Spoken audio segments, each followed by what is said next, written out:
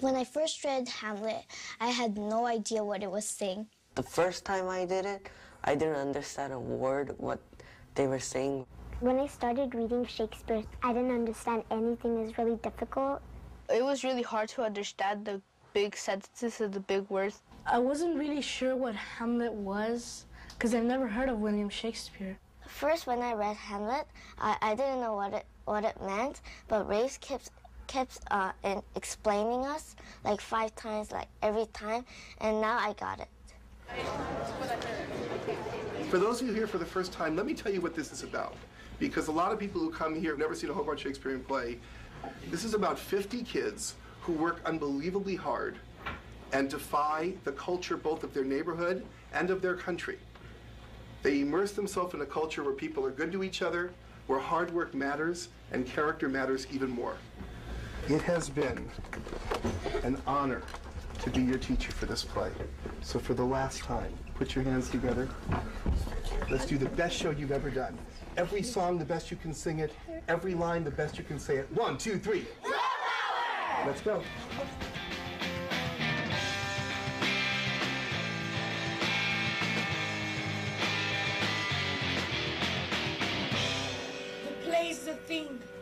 Wherein I'll catch the conscience of the king.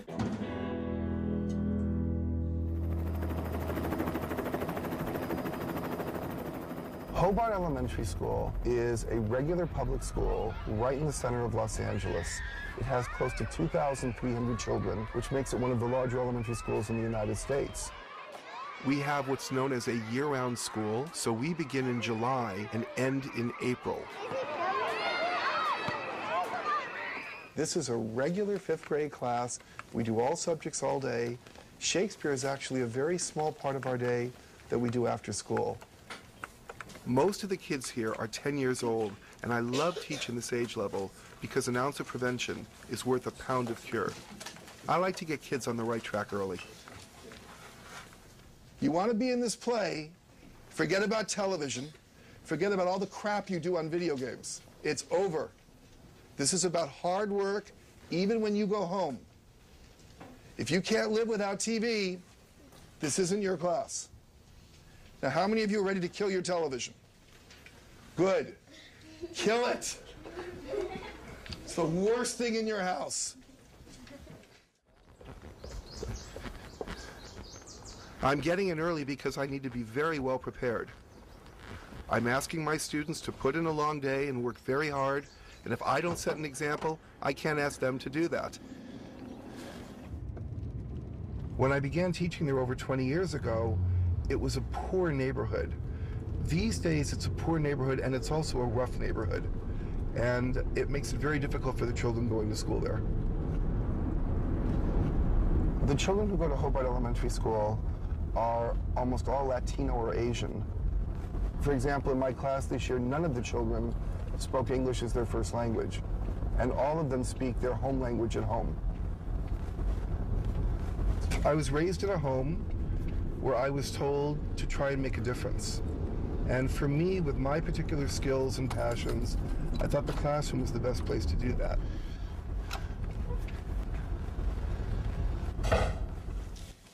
These are neighborhood children. Some of them have extraordinary ability, and some of them are just your average, regular, everyday, run of the mill kid.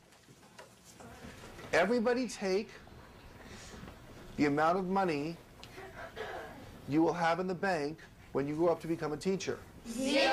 That's right. Good. Add to that the number of justices that sit on the United States Supreme Court. Nine. Ah, that, that, that, supposed to tell everybody. Add to that the number of weeks in a fortnight. Add to that the number of feet in a yard. Cut that number in half. Cut that number in half. Subtract one and a half and show me an answer. Ooh, I see some people got it. Now, are you giving me a two or is that a peace sign?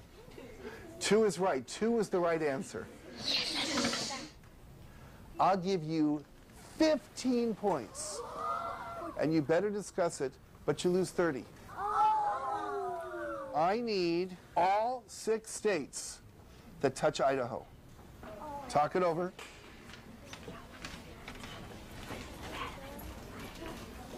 Fifteen for thirty.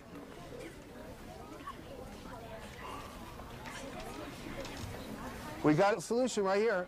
Andrew says he's sure. Here we go. Montana, Montana is one. Um, he's talking now. His turn. Wyoming, That's two. Washington, That's three. Oregon, That's four. Utah, That's five. Nevada. All six. Well done. Well done, Andy. Fantastic. I love Shakespeare. I love Shakespeare because my father read it to me as my bedtime story when I was a little boy. It's what I was raised on. So while, of course, I do all the school standards, we do Shakespeare because I personally love him. And my passion is passed on to the students. I've used Shakespeare as kind of a microcosm to teach the children all the things that I want them to learn. Because it's not really about Shakespeare. These kids are not Shakespearean actors. They're not going to be Shakespearean actors. By learning Shakespeare, these children are learning enormous amounts of vocabulary, enormous amounts of discipline, teamwork, the respect for one another, so that when one child is on stage, the others are learning, maybe it's my time to be quiet and let him have his moment.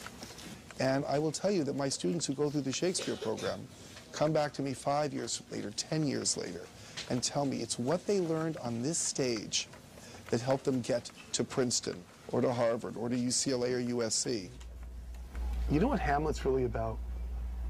In one word? But in one word that starts with a D. It's the big issue. It's about death. I mean, think about it. What's the first thing that happens in the play? The very first thing that happens? The king is. It starts with a death. I mean, the whole play is set in motion with the death of the king, right? So many people die in this play that at the end of the play, there are bodies all over the stage, okay? Towards the end of the play, in the great scene in the graveyard, right? Right? You know, they got the scene in the graveyard, and they're, they're throwing skulls out of the grave. No, I mean, you know, to the point where Hamlet actually picks up the skull and goes, let me think about the meaning of this. I think you gotta say this play's about death. Right? And let's face it, it's something we all think about. Let's see if now we all hear the speech a little bit differently than we once heard it before. Alan, you're up. To be or not to be? That is the question. Whether 'tis nobler in the mind to suffer the slings and arrows of outrageous fortune, or to take arms against the sea of troubles, and by opposing, end them. To die to sleep no more, and by a sleep, to say we end the heartache and the thousand natural shocks that flesh is heir to. And I use sports just like you use everything else here to drive home the message of what I'm trying to teach the children, which is to be nice and work hard. Baseball, for me, is the best game ever invented. It's the fairest game by far. The defense holds the ball. Every kid gets a chance. If you're winning, you still have to have the other team get up. You've got to give them their shot to catch up. You have to get them out. You can't play keep away. And it's a wonderful game. It's, our game, as Walt Whitman called it. And I want these kids to be Americans. And a lot of them are new to this country or not been in this country that long. At the end of this year, when I ask them, What are you? I want to say, I'm an American. I'm as American as George Washington or Abraham Lincoln. I'm as American as Frederick Douglass. I'm one of them. Kids that play music do better in all parts of school. And that's why we have so much music in this classroom. It's fun, it's relaxing, it's challenging, and it makes them better at mathematics and reading.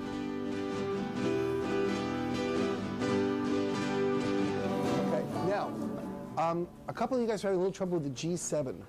When we go.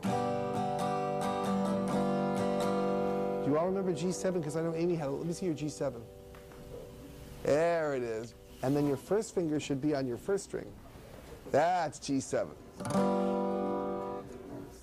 The reading scores in this class are very high, and if you hear the kids ooh and ah and beg for more, that's what reading is supposed to be a thrilling adventure.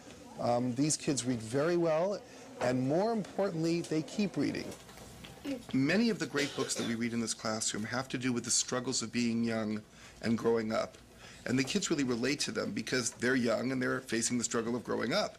So we read Huck Finn, we read Catcher in the Rye, we read A Separate Peace, we read Lord of the Flies, and we always read To Kill a Mockingbird, we read the autobiography of Malcolm X, we always read Of Mice and Men by John Steinbeck. I had a lot of favorite books in Rafe's class, but one of my favorites was Adventures of Huckleberry Finn because Mark Twain, he puts us in Huck's spot and he makes us choose if we should always follow the society or be ourselves. In chapter 31, in just a few minutes, it will be time for Huck finally to do the right thing and turn Jim in and make him a slave. And that is the right thing, isn't it, boys and girls? It is the right thing. Don't you think? That's what society is telling him. And then I happened to look around and see that paper. It was a close place. And I held it in my hand and I was a trembling because I got to decide forever betwixt two things, and I knowed it. I studied a minute, sort of holding my breath, and then says to myself, all right then, I'll go to hell, and tore it up. Danielle, will you read Danielle? Then I to thinking over how to get it out, it, and turned over considerable many ways in my mind, and at last fixed a plan that suited me.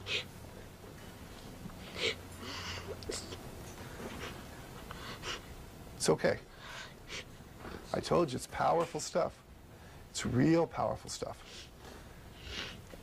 So, what decision did Huck make? The climax is over. He's going to be... He'll be a bad boy.